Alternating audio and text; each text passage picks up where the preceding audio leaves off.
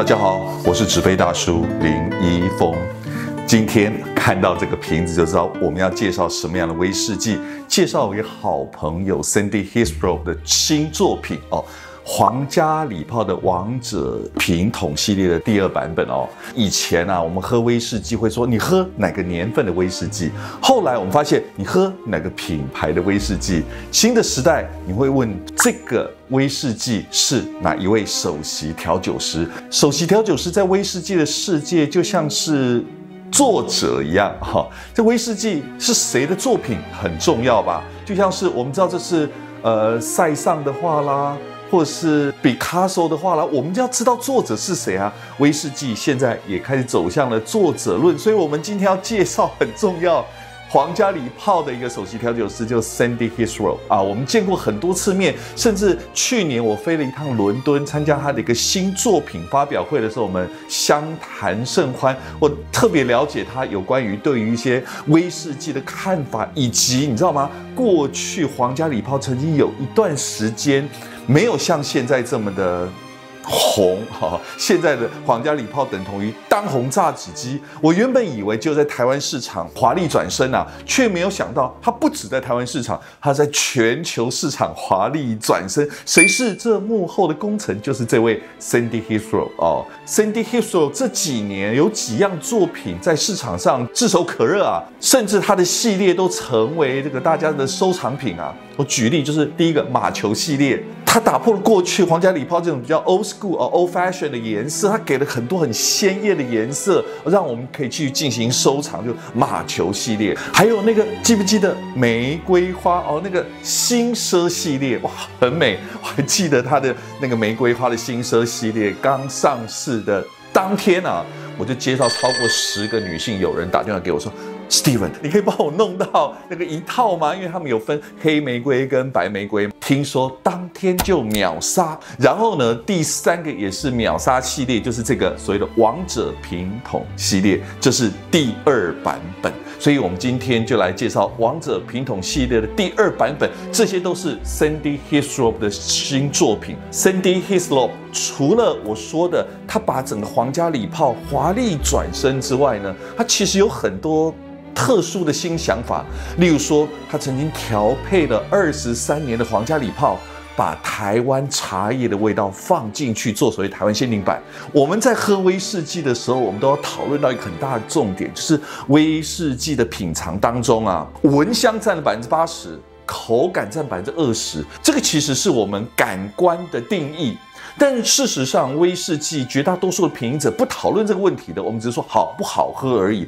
但是 Cindy Hislop 注意到这一点呢，他把这个闻香这件事情当做一回事来看待，特别早的那种鼻子非常灵的，结合了香水的领域以及威士忌领域融合在一起，一起来协同调配，让我们更清楚的惊艳到皇家礼炮香气的这个改变，真是太迷人了哦！当我们知道首席调酒师的重要性的时候，下一步我们就来了解一下 Cindy Hislop。他到底用他的想象力把我们带到什么样的地方去？这支王者品桶系列基本上是针对老饕设计的，它特别着重在于用桶这件事情。Cindy Hipso 的第一个作品用的是苏格兰桶啊，用苏格兰在地的项目，因为是王者选桶嘛，所以他以苏格兰皇室作为表征。设计了第一套苏格兰桶的二十六年的王者平桶系列，它的颜色是绿色，是苏格兰的那块广袤的平原土地的颜色。而这次呢，它用的是好漂亮的紫色哦。我的西装颜色比较深一点，这个颜色哇，倍儿亮倍儿亮，很好看的。有人说是像是。葡萄酒的颜色吗？不过我觉得它的亮丽的颜色实在太迷人了，是以意大利王室作为主题，也是它的第二款的王者瓶桶系列。所以它用了什么样的桶子？它用了一个非常特殊的桶子，叫做 Amarone。意大利有五大名酒啊，A B B B C，Amarone、Barolo、Barbaresco、Brunello di Montalcino 跟 Chianti 哦，就五个来自于整个意大利最重要的产区。Amarone 的葡萄酒有个特殊的制成，它用的枯藤制酒法，就是将葡萄风干了之后再来制酒，所以它用的葡萄汁的量比一般的葡萄酒多了一倍。因为它浓缩了，所以呢，它的风味更饱，甜味更高的状况之下，它的发酵时间比一般的葡萄酒多了两倍。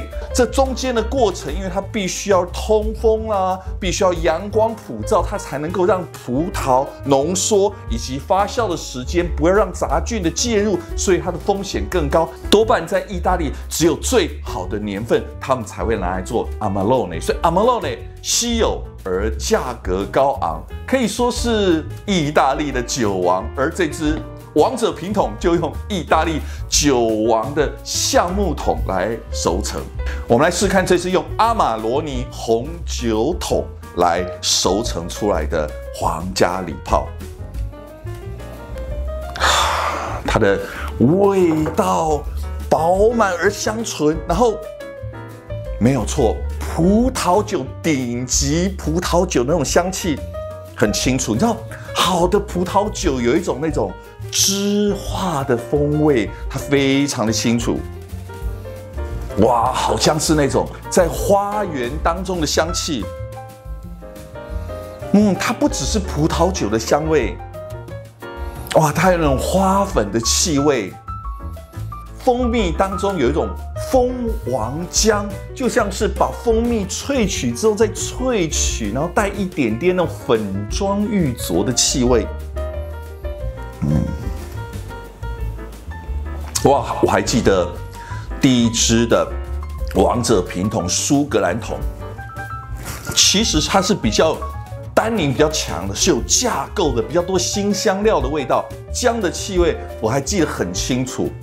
所以它其实比较像是苏格兰人那种有棱有角的线条，然后比较刚硬的性格的风格。而这支来自意大利阿玛洛内的桶子，给予的不是这样的气味，它是充满着热情饱满，哇，好像很多的 energy，然后但是却又柔情似水。然后说它没有那么多的棱角，但是它的那种。丰腴饱满的程度，我很喜欢这种东西哦。哇，香气实在太棒，香气真的非常好。因为我最迷恋葡萄酒的部分，就是葡萄酒经过良好的储存以及醒酒了之后，它会产生很多美好的花香调，而这支酒就有那种顶级葡萄酒所产生的香气，适当的甜感。哦，造成尾韵的那种一波接着一波的那种甜蜜的感受，其实非常好。它虽然甜蜜，但是不是那种呃蜜香的甜味，但它反而像是一种有点像是融合了果香的水果的味道，然后在尾韵当中留下一些淡淡的单宁，让整个尾韵更悠长哦，更美好。跟大家分享一下一个小秘辛哦。这支酒酒标上面写了二十六年，跟上一次苏格兰桶的二十六年是一样的年份。不过呢，我在查资料的时候呢，发现。他们做了二十六年调配之后，放到阿玛洛内的桶子里面放了两年的熟成。正常来说，这支酒应该是二十八年的苏格兰威士忌。不过他们为什么不要二十六年呢？或者是他们想把王者平桶系列全部都用二十六年来标示吧？这多了两年，是我们平者的小确幸了。到目前为止啊，Sandy Hipso 针对王者平桶系列，它的描绘非常清楚啊，我很喜欢。包括苏格兰桶有苏格兰的王室的风味，然后像这个意大利桶呢，的确有那种意大利的王者的风味啊。下一个是什么样的桶子呢？能够呢清楚来描述它第三版的王者平桶呢？我猜呢。会不会是俄罗斯放在拉嘎桶里面？